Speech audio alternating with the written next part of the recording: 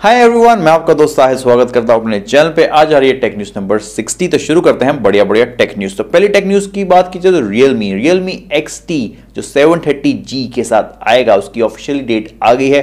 सतारह दिसंबर को ये लॉन्च हो रहा है इंडिया में। साथ में इसमें आएँगे एयरपोर्ट भी एक साथ में वायरलेस एयरपोर्ट तो बहुत बढ़िया लग रहे हैं प्राइस बढ़िया हो तो मज़ा आ जाएगा। चाइना में इसकी अभी तक कोई न्यूज़ नहीं आई तो मतलब सिर्फ़ ये इंडिया में आ रहे हैं एयरपोर्ट्स तो मैं एक्साइटेड हूँ, बढ़िया लग रहे हैं, क्योंकि शाउमी के आए थे चार हज़ार के मी एयर टू मैंने उसकी अनबॉक्सिंग की थी, मुझे काफ़ी बढ़िया लगे थे, सिर्फ़ चार हज़ार में हमें हुआ हुए एप्पल के लेते हैं, दस दस हज़ार से भी ऊपर के होते हैं तो बड़ी रियलमी और शाउमी बहुत बढ़िया काम कर रहा है, हमें सस्ते प्राइस में बहुत बढ़िया चीज़ें दे रहा है। Realme X T seven thirty G की बात की जाए तो चाइना में ये अक्टूबर में आ गया था। रियलमी एक्स टू बन के काफ़ी बढ़िया फ़ोन था। सिर्फ़ सोलह हज़ार में लॉन्च हुआ था। मुझे बहुत पसंद आया था। बस एक कमी लगी थी, जो मैं इसके फाइनल रिव्यू में जल्दी बताऊँगा। एक करूँगा मतलब मेरे दो महीने का रिव्यू कि कैसा लगा मुझे ये फ़ोन मुझे बहुत बढ़िया लगा। नेक्स्ट न्यूज़ की बात की तो शाओमी चिप जी हाँ शाओमी ने एक 2014 में शुरू किया था कि शाओमी सर्ज एस वन नाम का एक चिप बना रहे हैं, जैसे हुआवे का किरिन है स्नैपड्रैगन है सैमसंग का साइनोस है।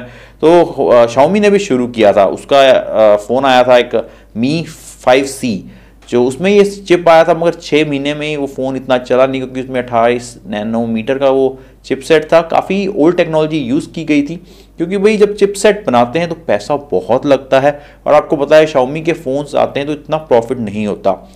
तो भाई वो फो चिप बंद हो गया उसके बाद किसी फ़ोन में नहीं आया। तो आजकल फिर से खबर आई है कि Xiaomi का सर्च S2 आने के चांसेस हैं 2020 में। जी हाँ 2020 में कह रहे हैं शायद Xiaomi सर्च S2 आएगा वो प्लान अभी इनका ख़त्म नहीं हुआ वो कंटिन्यू था। नेक्स्ट नेक्स्ट ईयर वो आ सकता है। वो, मिड रेंज चिपसेट्स हो सकते हैं। सर्च S2 कह रहे हैं कि जो स्नैपड्रैगन सेवन सीरीज़ होगा या किरिन आठ एट सीरीज़ है उसके कंपैटिबली आएगा। तो देखते हैं नेक्स्ट ईयर Xiaomi क्या करता है, बढ़िया ही करेगा, अगर लॉन्च कर दे तो मे भी शायद इनके प्राइस थोड़े और चीप हो जाएँ, क्योंकि भाई अपना ही चिपसेट होगा तो भाई प्राइस कर सकते हैं ये थोड़े कम। तो नेक्स्ट न्यूज़ की बात की जाए तो भाई इंडिया की। इंडिया की एक कंपनी कार कंपनी ने लॉन्च किया है इलेक्ट्रिक बाइक जी हाँ देखने में बहुत बढ़िया लग रहा है। वेट है इसका 158 ग्राम 33.5 हॉर्स पावर मिलेगी इसमें आपको। 147 kilometre per hour maximum speed है। और अगर आपकी बैटरी पूरी चार्ज है तो अब डेढ़ सौ किलोमीटर चला सकते हैं। प्राइस थोड़ा मुझे ज़्यादा लगा नियर अबाउट कह रहे हैं, तीन लाख का है ये। चाइना में मेरे पास भी एक इलेक्ट्रिक बाइक है इलेक्ट्रिक स्पोर्ट्स बाइक है। अगर आप न्यू है चैनल में तो आपने नहीं देखा होगा, वरना मैं मोस्टली दिखाता हूँ। तो वो मुझे कॉस्ट हुआ था नियर अबाउट सिक्सटी थाउज़ेंड के पास और इलेक्ट्रिक बाइक है 100 किलोमीटर वो एवरेज मतलब 100 किलोमीटर फुल चार्ज पे चल पड़ता है और मैक्सिमम स्पीड उसकी सिर्फ़ हंड्रेड किलोमीटर पर आर है। तो भाई इसमें चलो स्पीड थोड़ी ज़्यादा है किलोमीटर थोड़ी ज़्यादा है, मगर प्राइस बहुत बड़ा डिफरेंस है। कहाँ साठ हज़ार, कहाँ तीन लाख? तो भाई मेरे को बहुत अच्छे लगते हैं ऐसे इलेक्ट्रिक ये व्हीकल्स क्योंकि एक तो बजटेड बहुत होते हैं, कोई तेल का खर्चना नहीं, कुछ नहीं, और नॉइज़ पोल्यूशन नहीं होती, कोई पोल्यूशन नहीं होती उसमें। तो बजटेड होते हैं, मगर इंडिया में ये चीज़ें आती हैं, बहुत महँगी आती हैं।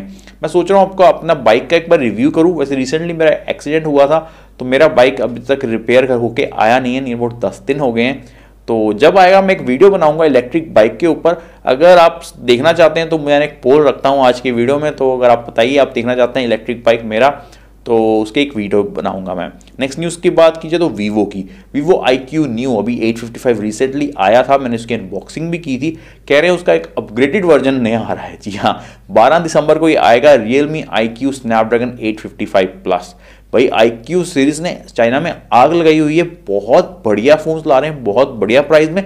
पता नहीं ये अभी तक इंडिया में क्यों नहीं आया। अप्रैल में शुरू हुई थी आई क्यू सीरीज़ मगर अभी तक इंडिया में इनका एक फ़ोन नहीं आया। मुझे गेमिंग फ़ोन जो इनका था बहुत अच्छा लगता है। मतलब काफ़ी सस्ते में था और एक तरह से सिर्फ़ गेमिंग नहीं बाकी चीज़ें भी इसमें बहुत बढ़िया थी। अभी आई क्यू न्यू सीरीज़ बहुत बढ़िया एट फिफ्टी फाइव प्लस आ रहा है। बीस हज़ार में लाए थे एट फिफ्टी फाइव तो मेरे हिसाब से इक्कीस बाईस हज़ार में एट फिफ्टी फाइव प्लस ले आए तो और क्या चाहिए?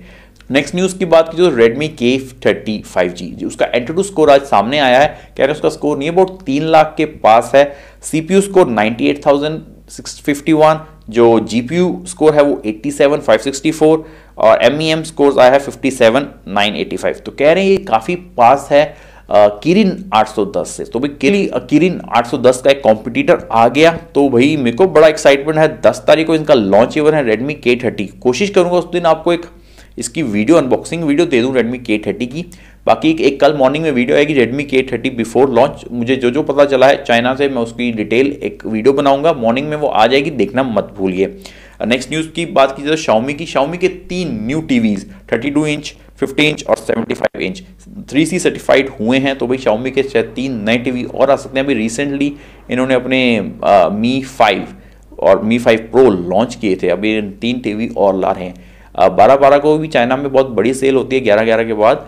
तो उसमें कह रहे हैं जो शाउमी का मी फोर ए है 55 इंच का, वो सिर्फ़ सतारह हज़ार में मिल रहा है। आप सोच सकते हैं इंडिया में ये कितना महँगा टीवी दे रहे हैं भाई, सतारह हज़ार में 55 इंच का चाइना में, और इंडिया में मेरे हिसाब से उसकी कॉस्ट नहीं थर्टी फाइव या थर्टी फोर थाउज़ेंड के पास है। तो डबल प्राइस पे बेच रहे हैं भाई इंडिया को भी थोड़ा करो भाई, इतने भी लोग अमीर नहीं है इंडिया में चाइना में ज़्यादा लोग अमीर हैं। तो नेक्स्ट न्यूज़ की बात की जाए, वो भी शाउमी की है। शाउमी का आया है कॉफ़ी मग हाँ जी। अगर आप कॉफ़ी पीना पसंद करते हैं और स्टारबक जाते हो मतलब महँगी कॉफ़ी पीना पसंद करते हो तो ये कप बहुत बढ़िया है। नियर उसकी कॉस्ट है सताईस सौ रुपये टू थाउज़ेंड सेवन हंड्रेड और इसमें आप कॉफ़ी फ्रेश बना सकते हैं। जी हाँ आप कॉफ़ी बीन्स इसमें डालेंगे, इसमें एक ग्राइंडर होगा, वो ग्राइंड करेगा और कॉफ़ी बनाएगा। काफ़ी कैरेंट टेस्टी कॉफ़ी बनती है, जिन्होंने भी ये यूज़ की है। कह रहे हैं इसमें three zero four double layer stainless steel हो स्टील हो यूज़ किया गया है, जिससे आपका जो पानी या कॉफ़ी आप डालते हैं, वो सात घंटे तक हीटेड रहता है। तो सर्दियों में बहुत बढ़िया, सर्दियों में क्या, कभी भी अपने कॉफ़ी पीनी आप बना के रख लो, सात घंटे बहुत होते हैं तो ईजिली आप पी सकते हो गर्मा गर्म कॉफ़ी तो मुझे ये प्रोडक्ट बहुत पसंद है, क्योंकि मेरी वाइफ कॉफ़ी काफ़ी पीती है। तो मैं सोच रहा हूँ उसके लिए ले लूँ और आपको एक रिव्यू भी दे दूँ। आपका क्या ख्याल है? आप पीते हो कॉफ़ी पीते हो तो मुझे कमेंट बॉक्स में ज़रूर बताइए। लास्ट न्यूज़ की बात की जाए शाउमी की ही, वो भी शाउमी की है। शाउमी ने एक ग्यारह तारीख को अपना लॉन्च करेगा एक कैमरा जी हाँ डोर कैमरा जिसको कह रहे हैं कैट आई कैमरा उसकी बस अब एक पिक्चर लीक में आई है, जैसे गोल सर्कल बना हुआ है और आइस बनी हुई है। तो देखने में बढ़िया लग रहा है। शाउमी भाई ऐसे प्रोडक्ट्स बहुत लाता है। तो वही एक्साइटमेंट तो बहुत होती है, देखते हैं क्या क्या करेगा शाओमी बस इंडिया में नहीं लाता, बस ये बहुत बड़ी गलत बात है। अगर इंडिया में भी ऐसे प्रोडक्ट्स इसी प्राइस में आए, क्योंकि कभी काफ़ी कुछ शाओमी लाता है इंडिया में, उनके प्राइस बहुत बढ़ जाते हैं। मतलब पंद्रह सौ रुपये का चाइना में आता है और इंडिया में आता है तो वो पच्चीस सौ या चौबीस सौ का हो जाता है। तो भाई ये चीज़ ध्यान रखना चाहिए कि इंडिया के जो लोग शाओमी को उन्होंने इतना ऊपर पहुँचाया इंडिया नंबर वन लाए हैं शाओमी में, क्योंकि इनके प्राइस बहुत बढ़िया होते थे पहले। तो अभी भी यही चीज़ रखें तो बहुत बढ़िया है, बाकी हमारा रियलमी बहुत टक्कर दे रहा है शाओमी को। तो देखते हैं भाई क्या करता है शाओमी 2020 में। भाई, इस साल तो खत्म होने को आ गया। देखते हैं अगले साल क्या होगा। तो आज की वीडियो में बस इतना ही। बढ़िया लगे तो एक लाइक ज़रूर कीजिए। न्यू है चैनल पर तो सब्सक्राइब कीजिए। मिलते हैं नेक्स्ट वीडियो में।